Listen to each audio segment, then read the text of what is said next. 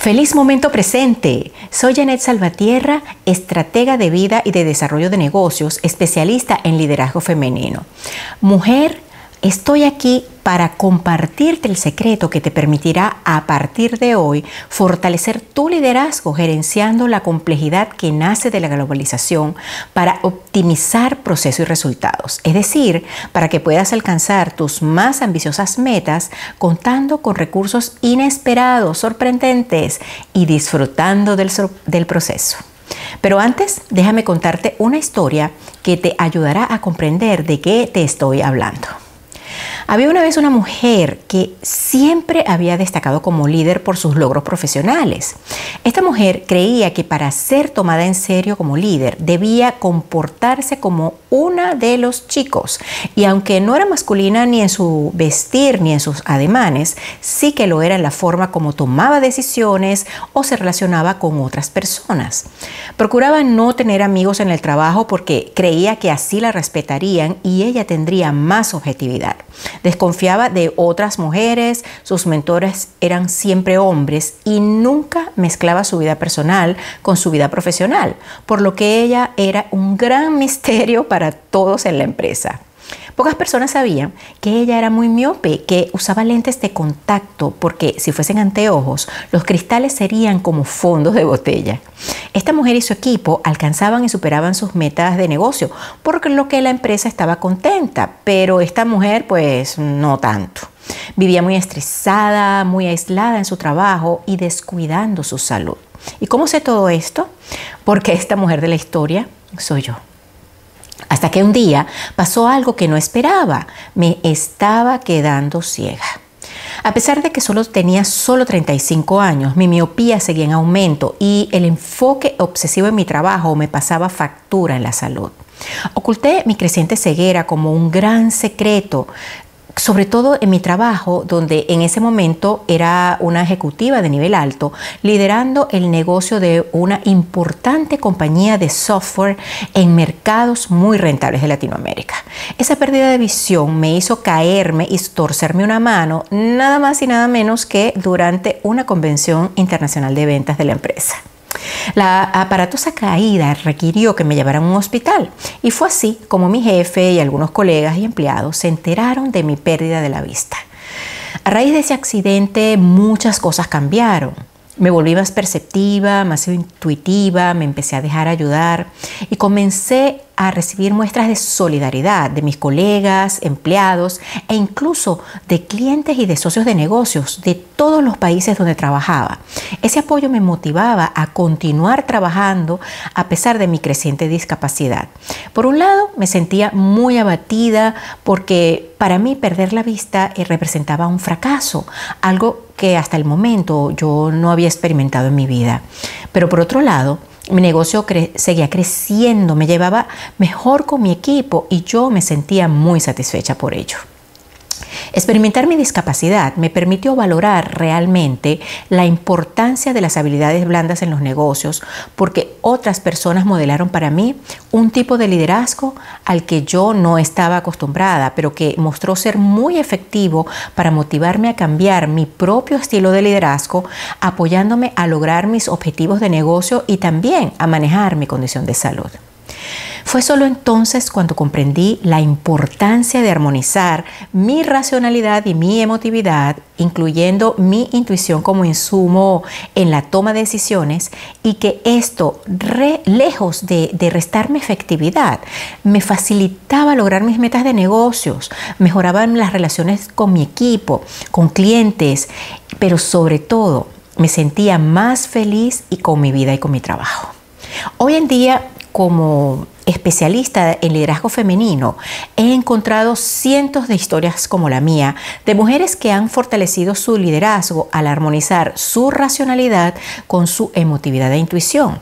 Al armonizar estas energías, somos más efectivas para gerenciar la complejidad que la globalización genera, transformando ese reto en una oportunidad de mostrar lo efectivo de nuestra propia complejidad femenina. Qué buena noticia, queridas amigas, ¿no les parece? El mundo del liderazgo ha cambiado y precisamente porque la globalización implica gerenciar la complejidad.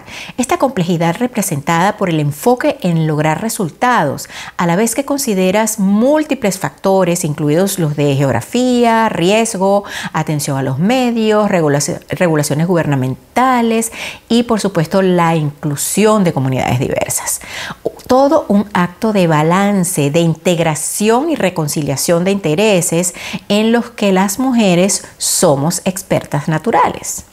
Cuando yo comprendí que debía armonizar mi energía femenina con mi racionalidad, descubrí que era más feliz, me divertía más, confiaba más en mí y en otras personas y además que podía llegar aún más lejos en mi profesión y en mi contribución hacia mis seres queridos y para el mundo. Y esto es algo que muchas mujeres deseamos. La presencia femenina se ha ido incrementando en tantos ámbitos.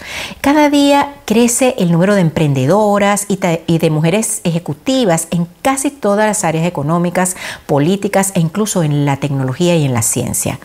Las organizaciones han aprendido valorar el liderazgo de la mujer, como lo evidencia, por ejemplo, un estudio del MIT que arroja que las empresas que apuestan por la diversidad de género y el liderazgo de las mujeres consiguen conformar grupos de trabajo más productivos y creativos.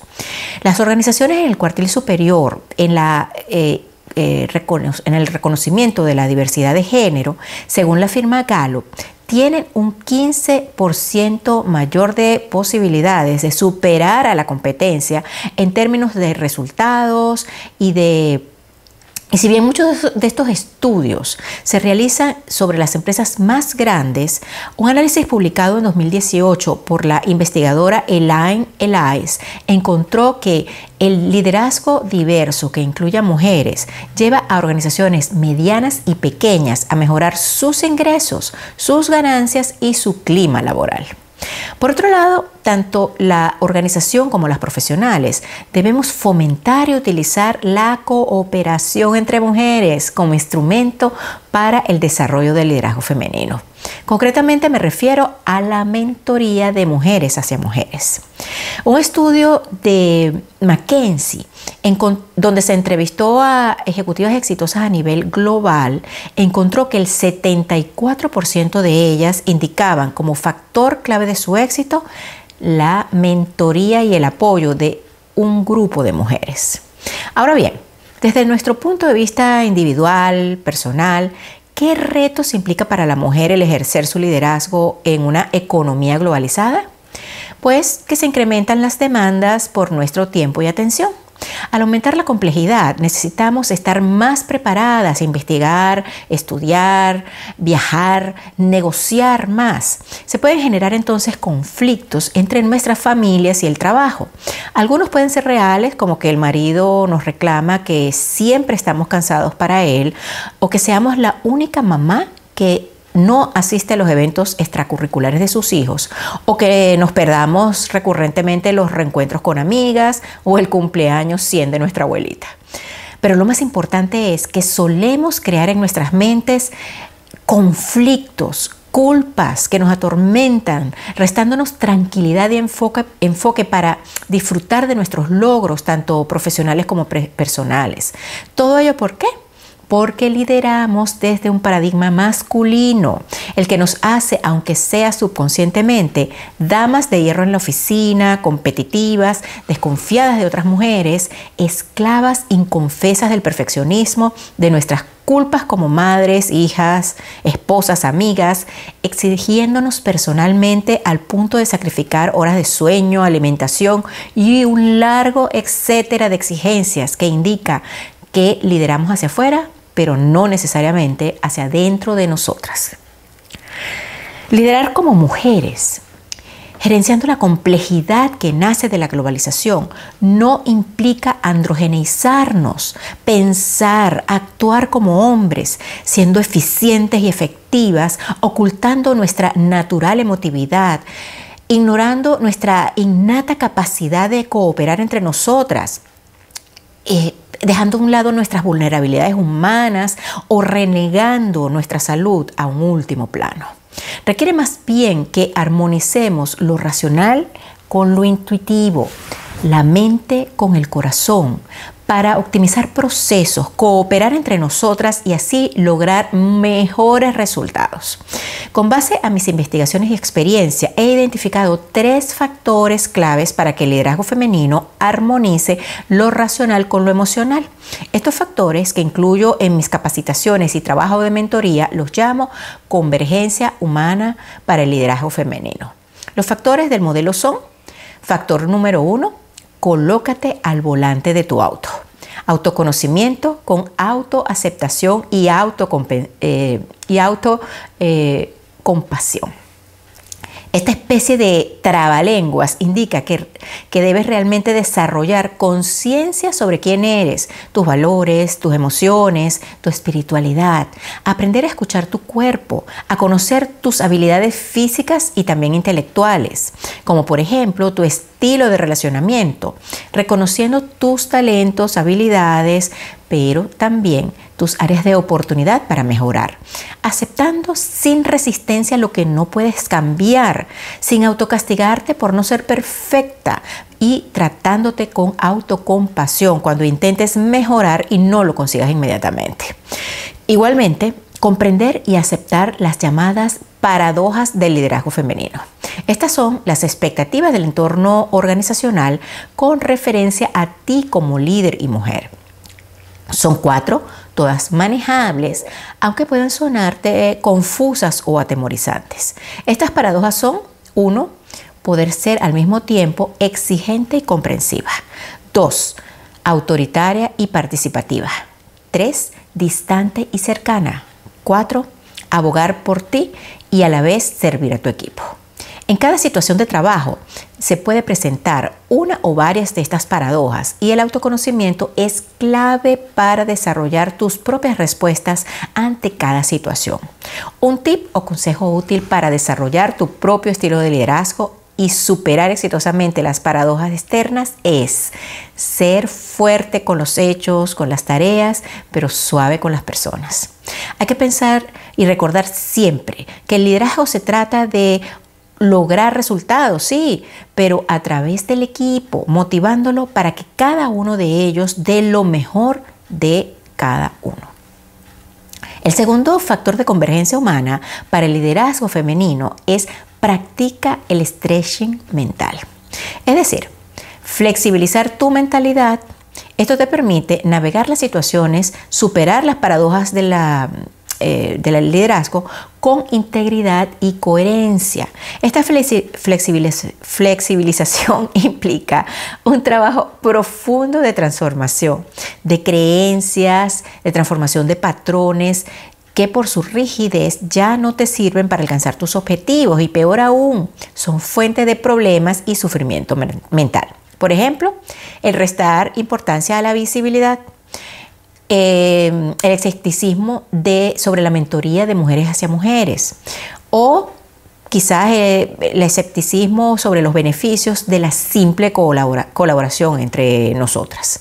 Otro ejemplo de, lo, de paradigma a, flexibilizar en, en, la mentalidad para desarrollar tu liderazgo es el reencuadre de tus vulnerabilidades y convertirlas así en fortalezas. Poder decir, por ejemplo, sin miedo, no sé, desconozco esta materia, pero estoy dispuesta a aprender.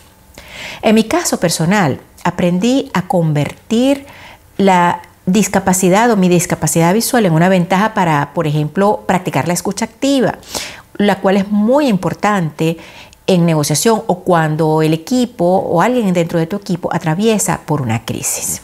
Otros ejemplos de creencias a flexibilizar que son muy comunes y que las he encontrado en mi trabajo es uno, el famoso balance vida-trabajo. Dos, tus propios prejuicios inconscientes de género. Eh, tres, cómo pasar de víctima a agente de cambio organizacional. flexibilizar tu mentalidad significa abrirte a la posibilidad de cambio a todo nivel, tanto profesional como personal, trasladando tus aprendizajes en cada área de tu vida como metáforas que faciliten tu desempeño en otra área de tu vida. Bueno, la clave para flexibilizar nuestra mentalidad y desarrollar el liderazgo es hacernos las preguntas correctas con la frecuencia adecuada para retar la validez o vigencia de un patrón de, pensamiento o conducta. Tanto el primero como el segundo factor de este modelo te invitan a hacer un trabajo continuo y muy personal que fortalece tu confianza, elemento clave en el liderazgo. También te van a permitir apoyar a tu equipo a que ellos realicen ese trabajo en sí mismos y en sus supervisores o, supervisados y colaboradores. El tercer factor de convergencia humana para desarrollar el liderazgo de la mujer es actúa para manifestar tu realidad. Crear el mapa de navegación que orientará tus pasos hacia el logro de tus metas, tanto organizacionales como personales. Este factor representa el terreno del hacer, de los objetivos, de la planificación, de los escenarios e indicadores, eh, pero además es es el, escenario o el terreno de las relaciones, del trabajo en equipo, de los sistemas y procesos que incrementan la productividad y donde nosotras las mujeres como líderes aplicamos las habilidades que hemos identificado mediante los factores anteriores para reducir el estrés, mostrando empatía y gratitud para motivar al equipo, adaptando nuestras conductas para crear situaciones de convergencia donde todos los participantes se beneficien y analizando, por supuesto, los fracasos para superarlos, evitar repetirlos y lograr así el éxito de nuestra gestión. Todo esto, por supuesto, teniendo muy presente siempre el armonizar tu racionalidad con tu emotividad e intuición para manejar los retos que seguramente se te van a presentar. En mis investigaciones he encontrado lo que llamo 12 dimensiones de actuación para manifestar o lo que es lo mismo, expresar el liderazgo femenino. En estas dimensiones destacan muchas habilidades sociales, eh, como la comunicación, el relacionamiento y la mentoría. Puedes verlas en pantalla y si lo deseas puedes investigar un poquito más eh, a través de eh, mi página web y siguiéndome en mis redes sociales.